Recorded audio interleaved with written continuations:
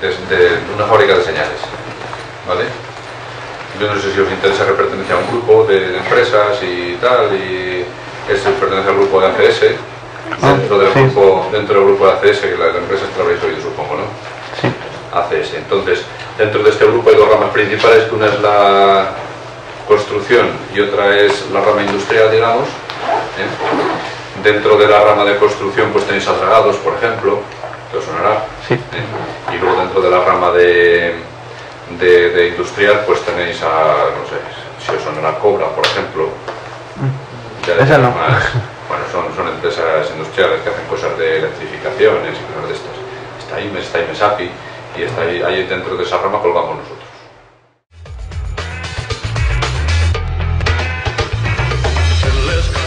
Desde aquí lo que hacemos es el- la fabricación de señales. Y fabricación de señales y pues todo lo que la soporta también. ¿eh? Hacemos, calculamos las estructuras, Mm. para poner los pórticos de las carreteras que habéis visto donde están los cartelones y tal. ¿eh? Entonces, aquí se hace el, pro- el proceso completo. Es decir, desde que entra un pedido de unos clientes, ¿eh? y este, este cliente pues, nos solicita pues, X señales, con sus postes o no, depende. ¿eh? Puede ser que sea necesario hacer el proyecto también, previamente del proyecto de la señalización. Imagínate un tramo de autovía que, que ha salido nuevo, entonces hay que se- señalizarlo, ¿no? Entonces, pues cogemos el, el, el proyecto de construcción y nosotros lo señalizamos. Le, le proponemos, hacemos una propuesta de señalización. Le colocamos las señales, los carteles, las entradas, las salidas, el balizamiento, también pintamos carreteras, Ah, en fin, etcétera. Todo completo.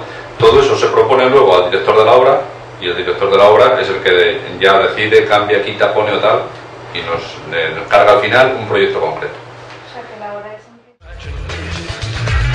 All this aggravation ain't satisfaction in me. Entonces, todo- Una señal esencialmente está compuesta por una chapa galvanizada de 1,8 milímetros de acero, ¿eh?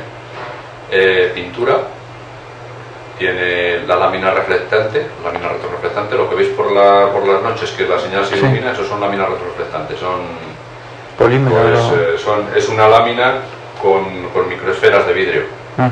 principalmente, o microesferas o microprismas. Para que refleje. Eh, para que refleje la luz, lo que hace es reflejar la luz, efectivamente. Eh, y luego, pues, pues nada, donde se le para la señal y se saca. Eso es un poco el asunto.